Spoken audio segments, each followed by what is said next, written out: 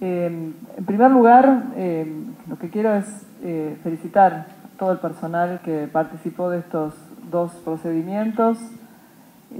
destacar, como lo venimos haciendo desde que iniciamos la gestión, en cada uno de estos grandes procedimientos, muchos de los cuales ocurrieron en esta hermosa provincia de Misiones, destacar el compromiso de, los efectivos, eh, la responsabilidad y el profesionalismo que, han mostrado con los resultados que hemos venido viendo en estos primeros nueve, meses de gestión. Eh, también eh, nos parece sumamente importante el hecho de que hay tareas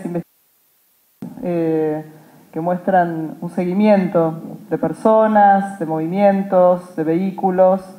que terminan en eh, incautaciones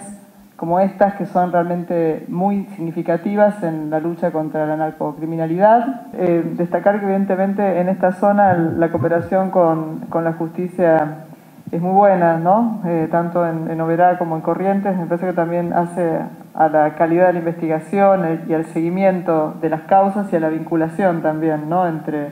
entre hechos. Eso también me parece importante para destacar para lo que es nuestro rol como auxiliares de, justicia y, que, bueno, siempre necesitamos de, jueces y juzgados que, nos, eh,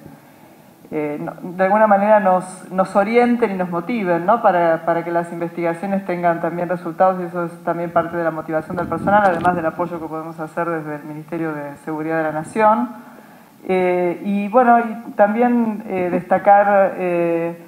que hemos tenido la información de que en el caso de estos nueve meses eh, ha habido una incautación por parte de la Prefectura Naval únicamente de 61 toneladas, 61 mil kilos, eh, frente a 53 mil kilos del 2019, lo cual,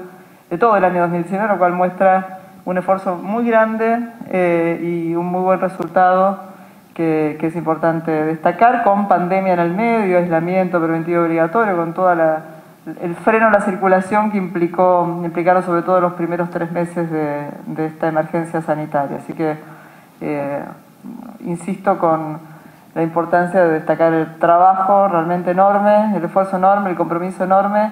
y también la calidad humana que nos ha manifestado el gobernador de todas las fuerzas federales y también de la prefectura y seguramente él se extenderá un poco más sobre, sobre eso. Así que muchas gracias.